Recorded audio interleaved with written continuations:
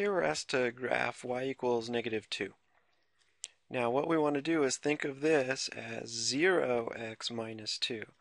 Okay, we're looking at slope-intercept form here where the slope m is 0 and the b is negative 2. When the slope is 0 we know we get a horizontal line.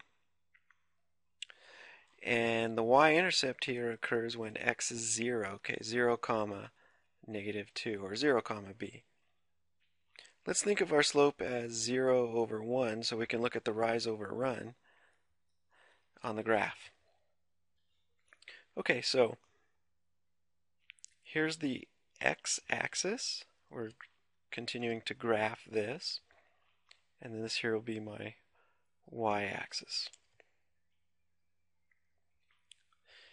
Um, let's choose a scale of 2. So this here would be negative 2.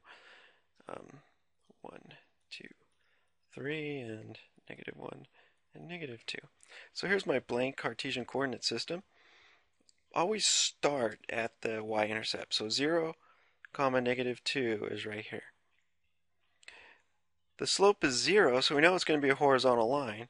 But let's look at it anyways. If we rise 0, and run 1, so 0 up and down and run 1 unit, we get another point on the graph, 1 comma negative 2.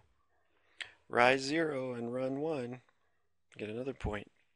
So you can see here, we get the horizontal line passing through 0, negative 2.